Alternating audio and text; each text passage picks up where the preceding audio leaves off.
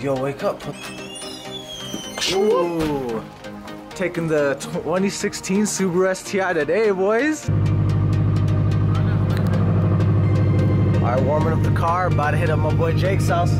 Pick this dude up and grab some food. Ah. Alright, we'll see you in a little bit.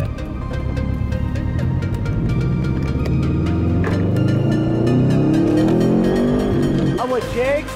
We picked up Jake from his house and we just uh-huh. started driving straight to Oregon. Just mobbed here, two and a half hour drive from Washington.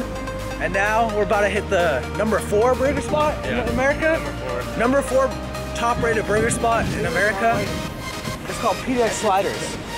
But yeah, we're pulling up there right now. About to try some nice ass burgers. Got a lot more planned today. Let's go, baby. And these these guys ain't give me an eye. Oh, burger looks clean though.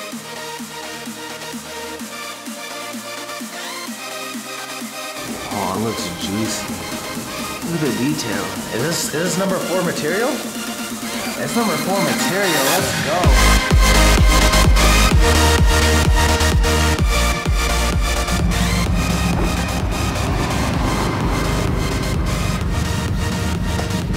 Awesome. Thanks, man. Have a good one. Appreciate it.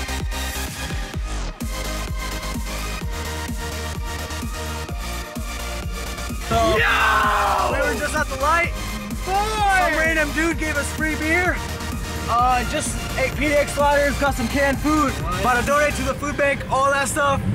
Woo, let's go. Jake, what just happened? I don't even know. We just got some free beer. Free beers out of nowhere, random Indian guy. Maybe thought we was Indian. I don't know. But we got the hookups. This is a good day. That is crazy. I know, out of nowhere. Look at that. Ooh, look at those shoulders, baby. I still got the hazards on. Boy. Oh, take those hazards off. I'm letting Sonic whip to the gas station. Whoa. Don't worry. Nothing doing, not doing anything crazy. We're about to get some pre-workout, sip on that, and then go to Arms Race Gym where Julian Smith works out. See you guys at the gas station or something. All right, Arms Race Gym. Me, Son, and Here we Jake go. Just parked up. About to kill this workout About to kill this workout. Alright, what's up, Marcos? It's Polo. Yeah, I know. Corniest thing you ever heard. I know. I know. I'll change it up. Welcome to the commentary. First, we start out with warm ups, and we did a lightweight pullover just to get a mind muscle connection, just to get the muscles firing. After that, we did dumbbell rows, and for dumbbell rows, do not ego lift. I could have done, yeah, I can pull. My body can literally pull 100 pounds. But no, I'm not doing that. I'm keeping my back straight. I'm pulling with my elbows. I'm squeezing at the top, squeezing real good. And after that, we got Julian coming in, flexing his car, of course. What's next? Come on, forward to the next clip.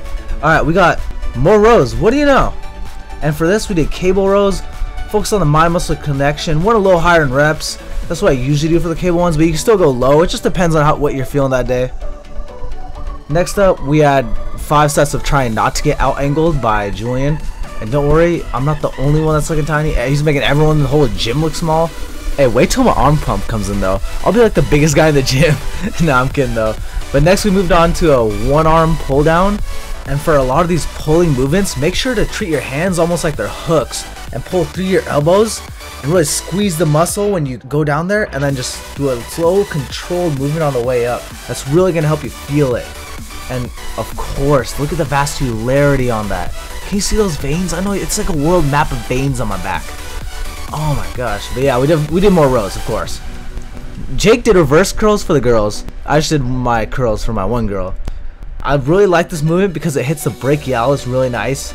And then we moved on to lat pull downs. I'm looking swole in this one. I told you guys I'd get that pump. I told you I look way bigger. And Jake, shout out to you for that angle, bro. If you made it this far, drop a like, comment any criticisms, share the video, and subscribe for more. Enjoy the vlog, guys.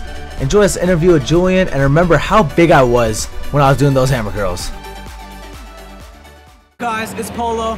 We just got done working at Arms Race Gym. We Got to work out with Julian Smith for a little bit, hit some biceps with the quad guy. I'm just flaring them out. Yeah, oh That's it, yeah. But we're about to go eat in Portland, try to find something cool. First, we went to that number four burger place in America or whatever. What's that? What? Number four burger What's it place called in again? America. It's uh, what is it? It's Some sliders or something. PDX sliders? PDX sliders, yeah. Get the fuck out of here. It wasn't. It wasn't even that good. It wasn't, right? No.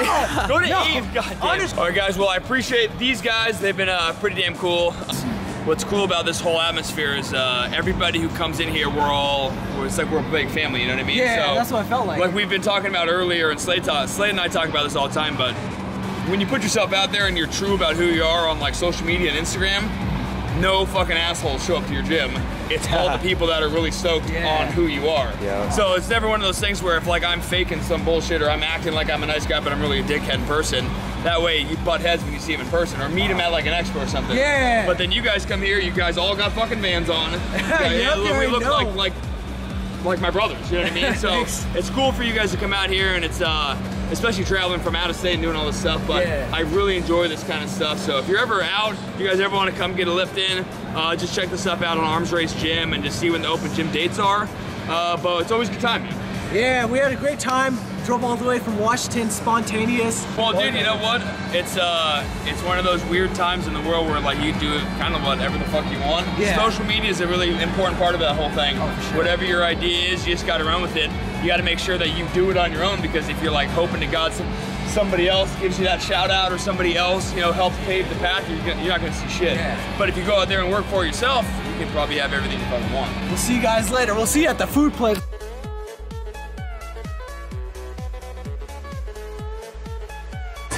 Looks sick. Oh. All right, at Salt and Straw, waited 30 minutes in line for some ice cream. The guy hooked it up and gave us like two scoops for one, just because we were fun, chill people. I'm not lying. I would have technically. Yeah, now me and the boys just eating ice cream. Booth pack. This is our last stop in freaking what city are we in? Uh, Portland, Portland. Last stop in Portland. Portland, Canada. About a road trip 300 miles back to Washington. It's been a good day. As we have.